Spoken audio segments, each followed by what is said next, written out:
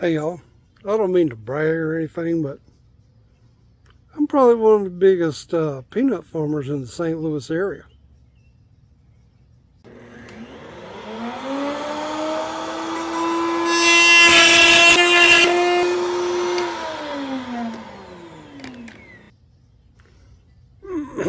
hey y'all, uh, a year or so ago I was watching a, uh, a video some Asian guy, Thai, Vietnamese, I don't know, he didn't he didn't talk.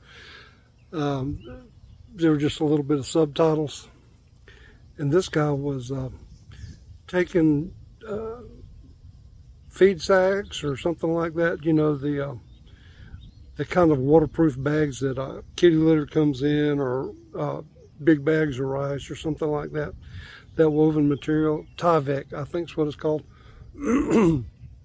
he had bags made of that stuff. He'd cut them in half and he'd sew the, the open end of of the top. So he would have two bags.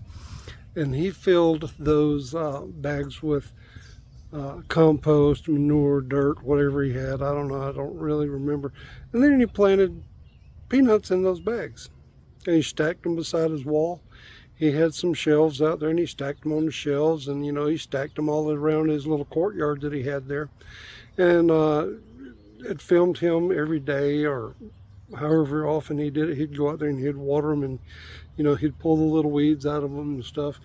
Um, I know he didn't live around here because he didn't have any squirrels but uh, anyway I was thinking about that and I said well maybe I should try that. Well that wouldn't work because of squirrels, but this is what I did. I, um, I got a couple of flower pots and I did the same thing. So that's three peanuts growing there. I've got another pot right up there that's got some peanuts going in it. Uh, you know, I won't grow any great amount, but uh, maybe I'll grow enough that I'll I can have a one boiling or something, you know, because being from Georgia, you got to boil peanuts. But uh, anyway, the, the, most difficult part of this whole deal was finding viable peanuts. Most of these peanuts that you buy are roasted and salted, or at least roasted. I did find some of the IGA a couple of weeks ago that were uh, raw peanuts, but they were a couple of years old. I mean, I ate one and it was just, it was not good. So, but I planted, planted some and I did have one come up. So, um, not a total loss. But I, um, I went to Rural King a uh, last weekend or last last week sometime on my way home from work and I picked up a bag of uh, raw peanuts there for uh, squirrels and birds or whatever. And uh, I got a, a 40 pound bag for $30, which, you know, I thought that was a little pricey, but uh, I don't know.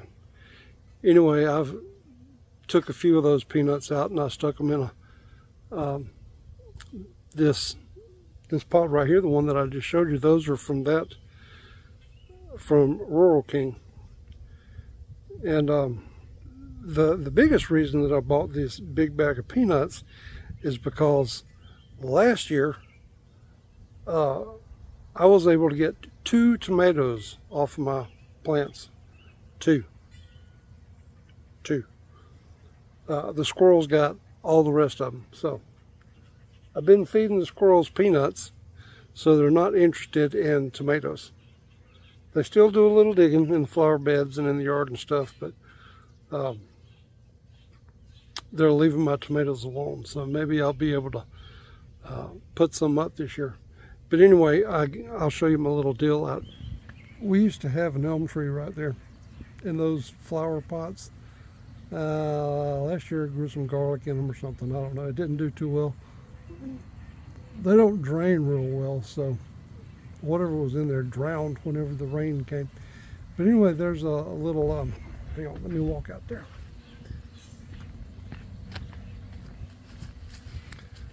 I get a little gravity feeder.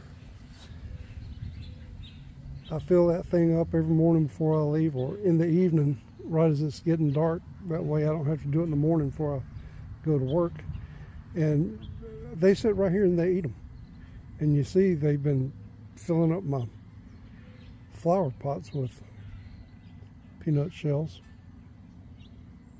So um, I'll sweep this off. I ain't gonna do. I ain't gonna clean it up any because those peanut shells are high in um, high in nitrogen. Make my grass grow. So, anywho, that's um, that's where I'm at. I'll show you my tomatoes. This stuff right here, this is comfrey. It's it's a good medicinal plant. Uh, if you plant it somewhere, take care because it will take over. Okay, I got some lemon balm here. I've harvested half of it and I'm dehydrating it so I can use it and stuff. Anyway, these are my tomatoes. And you can see I've got a few on there. Yeah. Got tomatoes on there. So I'm real happy. And there's some on the other bush too. And I did have some volunteers come up and I planted them on the other side of my porch over there. Um, they're not near this big. They're not quite knee high yet. So anyway, and uh, I've got some, I don't know if you saw it, but I got some lemongrass growing right there too. Anyway, now that I'm thinking about it, I, th I think I'm to plant me some more peanuts. I've got a few more hanging baskets I can do that in. So I think I'm to do that. So anyway, that's where I'm at. Y'all have a good day and God bless you. See you later.